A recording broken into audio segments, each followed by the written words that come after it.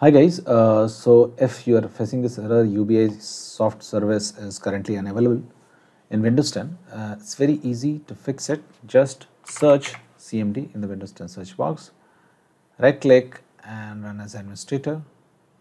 Now once this uh, command prompt window with admin rights opens up on your computer, you have to run these two commands one by one, okay uh, I have pasted these commands in the description of the video given below. You can directly copy those commands from there. Just copy you know, and hit enter. Similarly, copy the second command for a network reset and hit enter. Okay. Now uh, try again and your problem will be fixed. If it doesn't get fixed, let's move to the method 2. Just search ncpa.cpl in the Windows 10 search box. Okay now click on ncpa.cpl. Now once you are here, just right click on the Ethernet if you are connected via Ethernet, right click on the Wi-Fi if you are connected to the internet via Wi-Fi. In my case, I am connected via Ethernet, so I'll right click this and click on properties.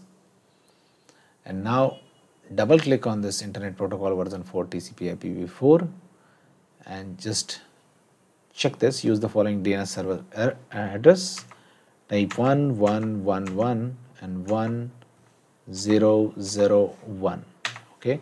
Now click on ok. Now click on ok. And now try again. And your problem will be fixed. If it still do not get fixed uh, try to you know uh, press control shift and escape together. Okay? And now try to find services either name in a series like this or similar to this name okay?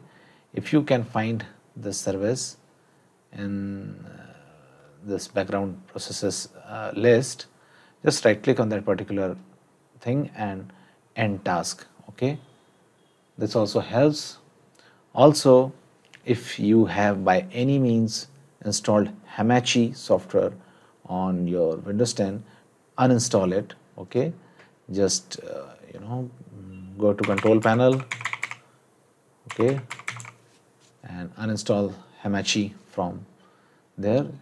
Just uninstall it. Okay. Now if still it is not getting fixed please try to uh, check your time and date. Okay. Click on start button. Click on gear shift icon. Search time date and time settings. And make sure the date and time are correct. If it is not correct try to change it and correct it so that's it guys. Please do like